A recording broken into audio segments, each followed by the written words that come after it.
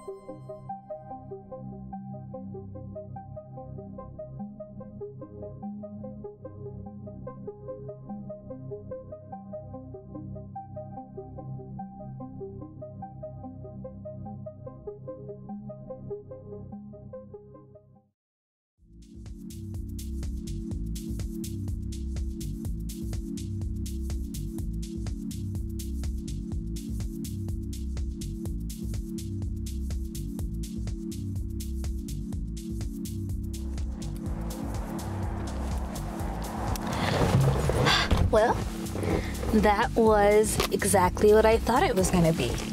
And it was really, really enjoyable. There is a lot that I like about this film. There were some things that did bother me, but for the most part, they did an excellent job bringing this franchise back. Now, it is a bit more serious than the previous films, even a bit more serious than the first one. This film was a sort of passing of the torch, to use a line that they used in the film. And you know, in doing that, some things had to happen, and without giving away too much, it's just incredibly sad. And in going into this film, we're all hyped up to see our legacy characters kick some Sidney, Gale, and Dewey and we definitely get that. That is completely satisfied. And it is a bit overwhelming at first because we really just care about our legacy characters. But after a while, I feel like we do get that opportunity to sort of connect to each of the new characters and learn a little bit about them and what their place is. There are some crazy connections to the first film, and while we're getting to know all of these new characters, you can't help but feel like you're rewatching the first Scream all over again. They use the term requel, which is something I actually hadn't heard of before. So it wasn't necessarily a reboot, not necessarily a sequel, but something in between. And yeah, when you're watching this, it just feels like they're doing Scream 1 all over again, but with new stuff sprinkled throughout the film. And again, we have this crazy, weird, familial connection that I won't go into too much that is really driving Ghostface. And this particular familial connection allows for a character that we all loved to come back and it's just done perfectly. I heard rumors about this character coming back into the film and I was just thinking how and why but how they did it was pretty clever. Now, this is the first Scream film not directed by the late and great Wes Craven, but I feel like the directors did a good job in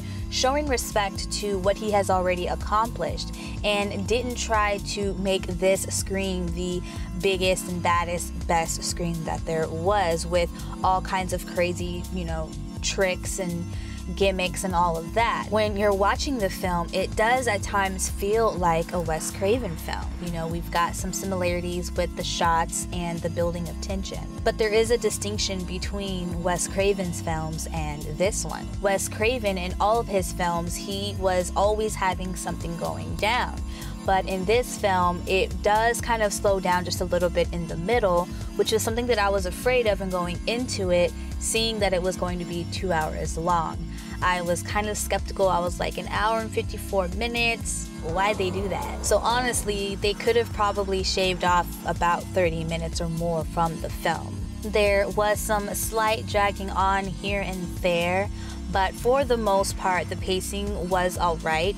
Uh, but there was just a couple of scenes in the middle that were just kind of throwaway or could have happened a little bit quicker. But man, y'all, these kills were brutal. I loved every single one of them. Uh, it may not have been as funny as the other ones, or it might be a little bit of a downer in some ways, but man, the kills are amazing. We got the knife going everywhere. Another thing that bothered me was the hospital, and that's all I can say about that. But when you watch it, you will probably know exactly what I'm talking about. It was really fun going back to old locations and finding all the Easter eggs throughout the film. It was meta on meta on meta once again. And I'm okay with it going a little bit more serious if they decide to keep going with this serious tone. I'm okay with that.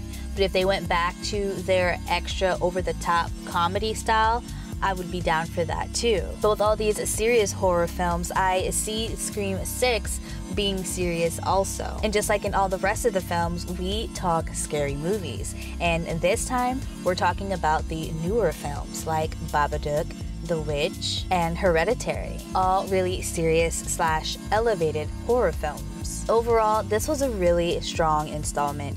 I enjoyed seeing everybody again. I liked the new characters enough and I just really like how they paid homage to Wes and his cinematic style. They took advantage of technology and gave us some really awesome slices and dices, and the performances from everybody were top notch. The casting was a 10 out of 10. I feel like I don't want to say actors' names because I went into this thinking something was going to happen that didn't happen, and I feel like saying that person's name might spoil something for somebody else but just every single person was great. The leads were great. I'll be watching this one a couple more times before I give it my final rating, but as of right now, as I sit in the parking lot of the theater, I would give it four rainbow skulls out of five. Well, thank you for joining me for my first ride along review. I hope you enjoyed this one. Let me know in the comments if you want me to do more videos like this or if you like my more structured reviews more or if you want me to do both let me know that as well. In 2022 i want to play around with doing different kinds of things and i would love to hear y'all's feedback whenever you like something or don't like something but i hope to do more of these ride along reviews and maybe sometimes for a film i can do a ride along as well as my in studio reviews. Just let me know what y'all think and thank you again for joining me today i appreciate y'all stardust peace.